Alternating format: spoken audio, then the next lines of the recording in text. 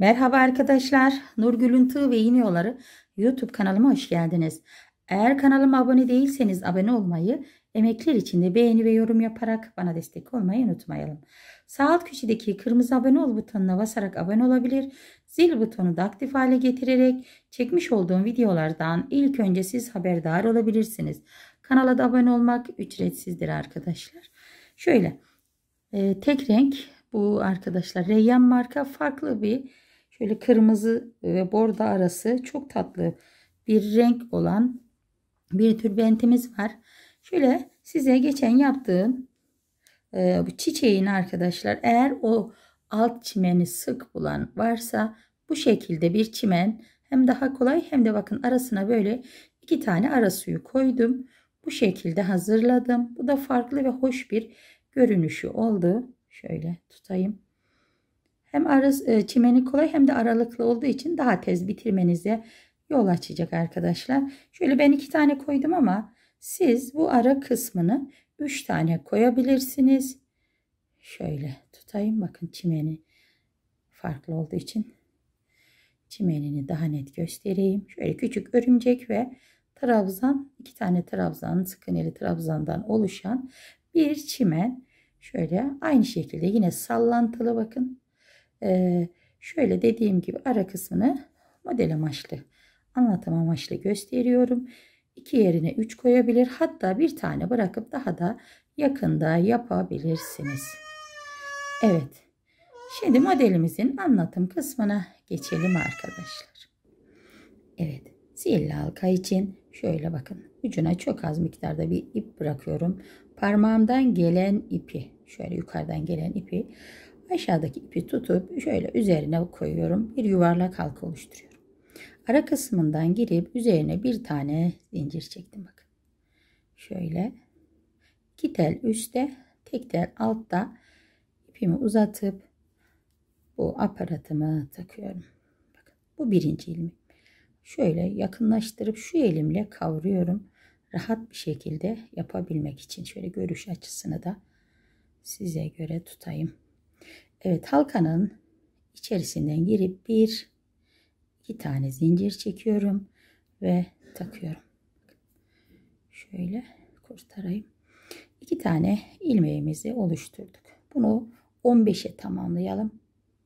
Halkanın içerisinden girdim. Şöyle bir ve iki zincir. Bu üç. Şöyle dört.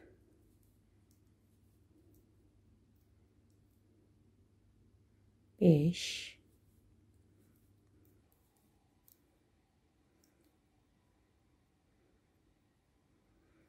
halkanın içerisinden giriyorum.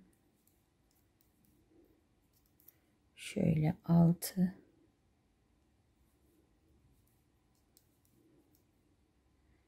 7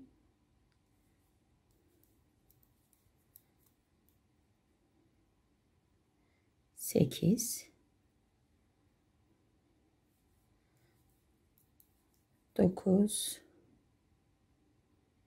şöyle. Bismillah. 10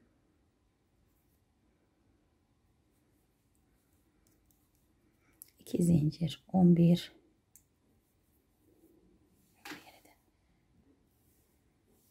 Sihirli halka için birazcık çok az arkadaşlar tutmak kadar olsa yeter. Birazcık ip bırakıyorum. Parmağımdan gelen ipi tutmuş olduğum ipin üzerine bırakıp orta kısımdan giriyorum. Şöyle bir tane zincir çekiyorum. İki teli üstte tek teli altta olacak şekilde yuvayı hazırladım. Şimdi şöyle bir zincir çekip ipimi uzattım. Aparat olarak kullanacağım tığımın böyle sap kısmını takıyorum. Bu birinci ilmeğim. Toplamda buraya ilmek toplayacağız. Bu iki şöyle üç 4 iki teli yuva olarak kullanıyorum. Ortadan girerek bu şekilde ilmekleri topluyorum. Şu dip kısımdaki iki zincirleri de sıkı çekmeye çalışıyorum. Bu şekilde 1 2 zincir. 5 şöyle. 6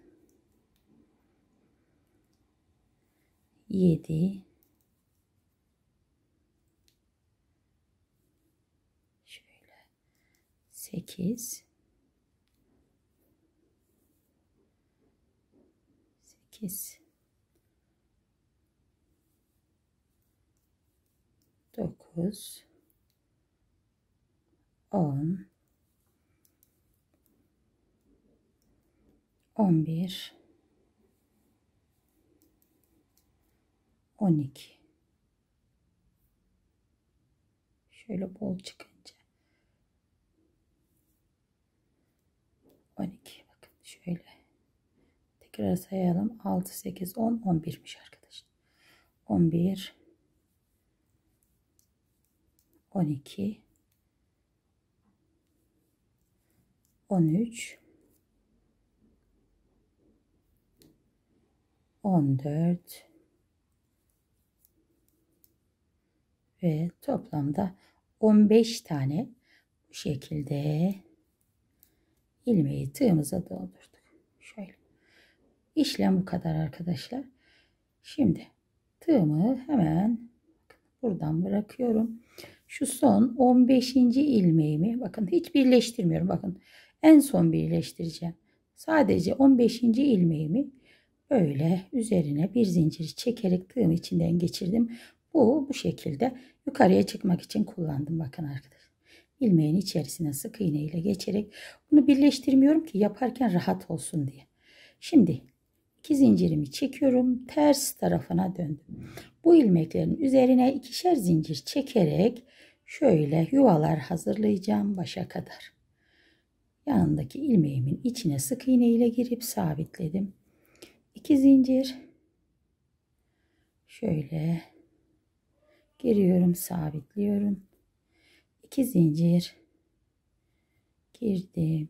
Bu şekilde sabitledim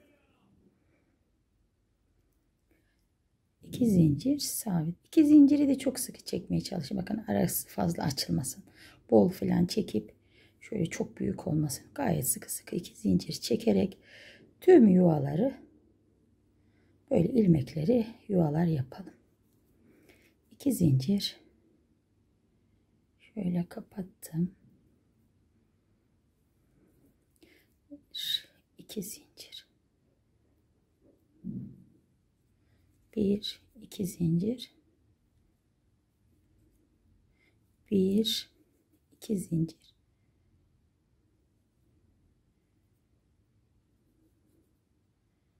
sonuna kadar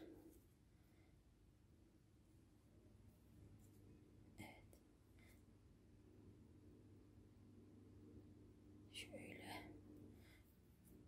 bir iki zincir bir iki zincir şöyle üç ilmeğimiz kaldı hepsini gösteriyorum arkadaşlar kesmeden şöyle sonuncu iki zinciri de yapıp tüm ilmeklerin yuvalarını bu şekilde hazırladım. Şimdi bir tane zincirimi çekip düz tarafına dönüyorum. Tersinden ikişer zincirli yuvalar hazırladık. Şimdi bakın bu ilmekleri yaptığımız düz kısmı şöyle düz olduğunu daha net anlarsınız. Hemen yanındaki bu iki zincirli yuvanın içine girerek Buraya üçer zincirden minik pipirikler yapacağız. Şöyle 2 3 zincir. 3 zincirimi kapatıyorum. Hemen yanına bu yanındaki iki zincire hiç sık iğne çekmeden direkt geçiyorum. Bakın hiç zincir çekmeden direkt sık iğne ile geçtim. Şöyle 3 zincirimi çekip yuvaya giriyorum. Hemen yanındaki boş olan iki zincirli yuvaya sadece sık iğne ile geçtim. 1 2 3 zincir. Sıradaki iki zincirli yuvanın içine 3 zincirimi çekip sabitliyorum. Şimdi sıradaki yuvanın içine geçiyorum. Şu şekil oluyor. Bakın kenarında minik minik pipirikler oluşuyor. 1, 2, 3 zincir. Kapatıyorum. Sonra sıradaki bu iki zincirli yuvaya 1, 2, 3 zincir.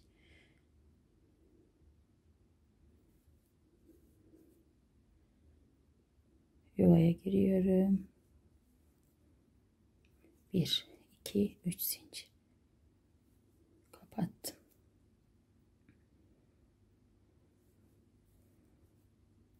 Bir, iki, üç zincir.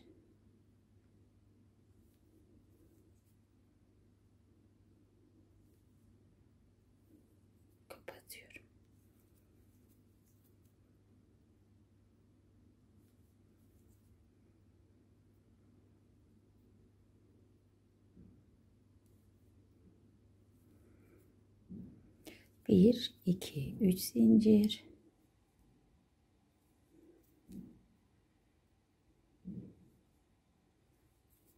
Bir iki üç zincir. Şöyle bakın sona doğru geliyoruz.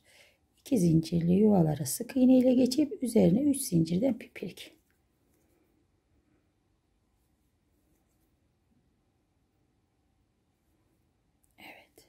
Sık iğne ile geçtim. Yeni yuvaya üç zincirden pipirik yapıyorum. Bakın bu sonuncu yuvaya da geldik. Şöyle. 1, 2, 3 zincir. Sık kirpiğini yapalım. Şöyle arkadaşlar. Bu hani tel olarak yapmıştık ya. Bunu da yuva olarak bu şekilde kapattık. Evet. İşimiz bitti bu kadar arkadaşlar. Hepsini yavaş yavaş gösterdim. Şöyle yavaş diyenler hızlı bir şekilde alabilir. En sonunda şu ipi şöyle tutup şunu da parmağımı çıkarayım. Şurası var ya arkadaşlar. Şu şimdi biz düz yüzündeyiz. Şuradan tutuyorum. Bu ipi şöyle elimi altına bakın bu yuvarlak zincirler dibinde sıkı sıkı çekildiği için çok güzel duruyor. Bir de tabi şöyle tutabilsem bakın arkadaşlar. Burası ters yüzü burası düz yüzü. Düz yüzü olduğu bu küçük sık iğne gibi oluşundan belli olacak. Bakın bu ipi çektikçe hiçbir şey olmuyor arkadaşlar. Sökülme bozulma olmuyor. Şöyle bakın biraz da sakızlı yakın. Eğer sökülür diyenler şöyle bir iki ilmek alabilir ama gerçekten kullanımı güzel oluyor. Daha önce kullandığımız için.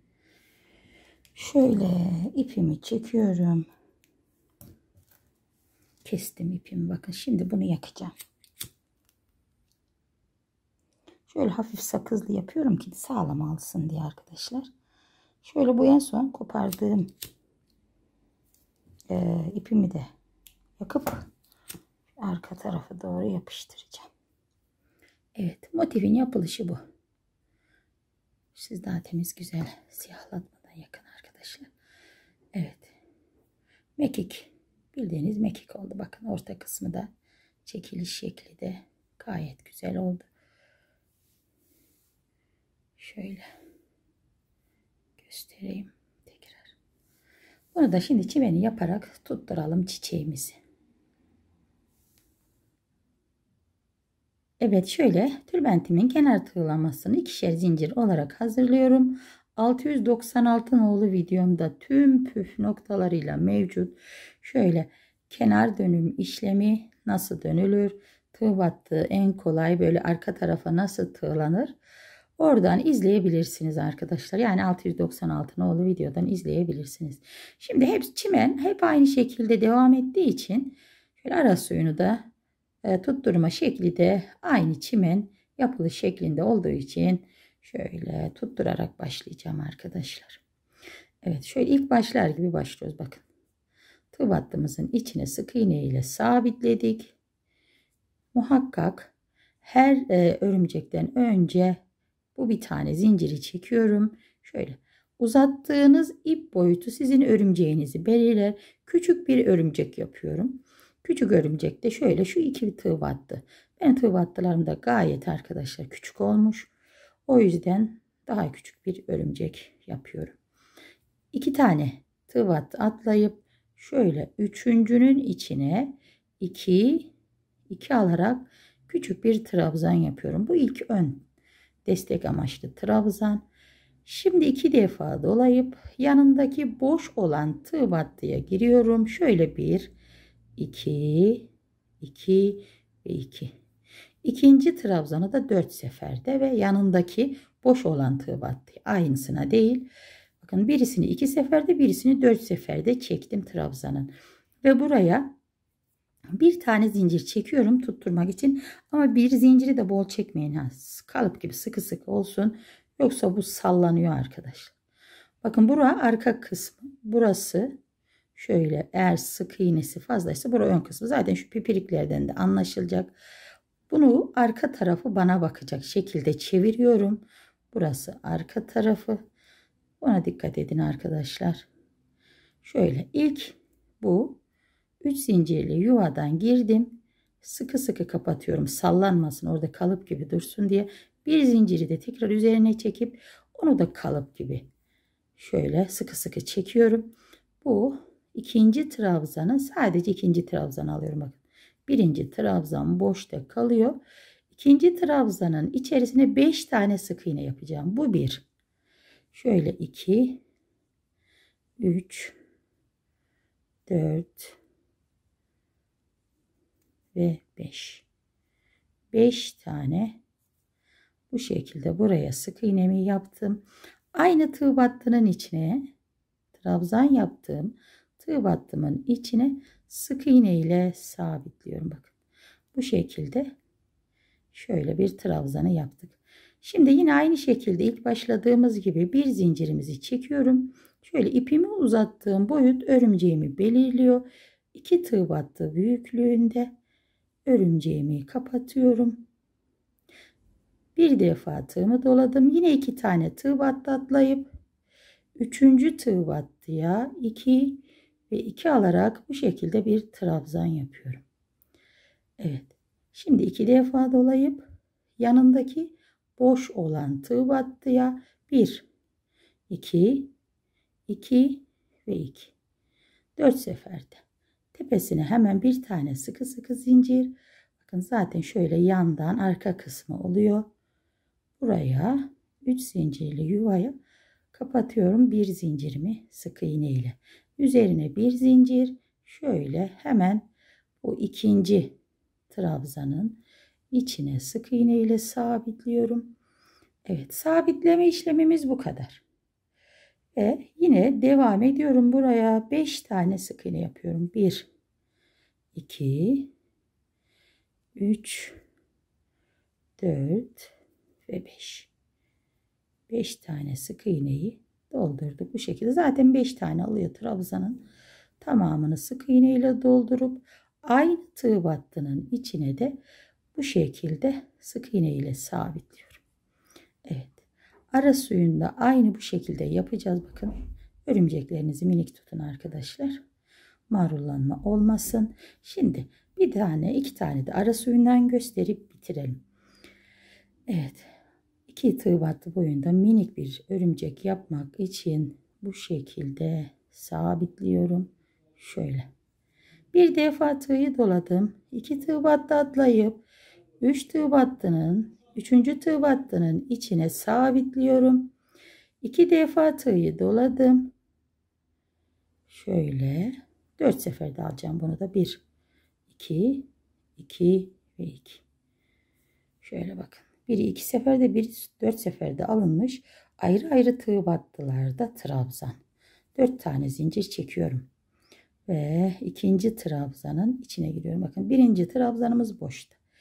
Dört zincirden kirpiği yaptıktan sonra buraya beş tane sık iğne yapıyorum. Şöyle iki, üç, dört ve beş. Evet hemen yanındaki tığ battıya girip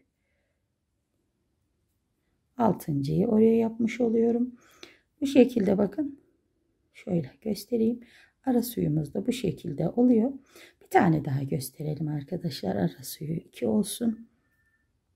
Şöyle bir zincirle dibine sabitliyorum. İpimi uzattım. 2 tığ battı büyüklüğünde küçük bir örümcek yapıyorum. Bir defa tığı doladım. 2 tane atlıyorum. Üçüncünün içerisine şöyle 2 şöyle 2 2 defa doladım. Hemen yanındaki boş olan tığ battıya şöyle 1 2 2 ve 2 1 2 3 ve 4 kapatıyorum bu şekilde. Geriye kalan kısma da 5 tane sık iğne yapıyorum. Şöyle 3 şöyle 4 ve 5. 5 tane alıyor. Bu 4 seferde aldığımız trabzanda aynı tığ battıya trabzan yaptığım tığ battının içine sık iğne ile girip şöyle sökülmesin diye de 3 zincir çekeyim. Bakalım. Evet modeli tamamladık bakın arkadaşlar gerçekten çok güzel duruyor modelimiz. Şöyle yakından göstereyim size. Şöyle küpe küpe duruyor. Hani önceden eğer büyükse kulak çöpü kullanın demiştim ya ilmekler için. Bakın bu çimene hiç gerek yok gerçekten daha küçültmeye. Çünkü çok hoş duruyor arkadaşlar. Şöyle göstereyim. Sallantılı gibi duruyor. Hoş duruyor ama böyle sahan örümceklerin ucu ucuna yaparız normalde sallantılı oya olsun diye ama bakın burada hiç gerek yok daha küçüğünü yapmaya. Bu aparat bu çimene çok güzel oldu bu çiçek. Evet modelim bu arkadaşlar. Bakın çiçeğimin güzelliğine, zarifliğine. Gerçekten çimende böyle çıtı pıtı zarif bir çimen. Şöyle göstereyim size. Evet, çok güzel bir model oldu. Hem kolay hem de böyle mekiği anımsatan bir model olduğu için çok hoş durdu arkadaşlar. Sizler de emekler için beğeni ve yorum yaparak bana destek olursanız sevinirim. Şöyle Allah'a emanet olun arkadaşlar. Hoşçakalın.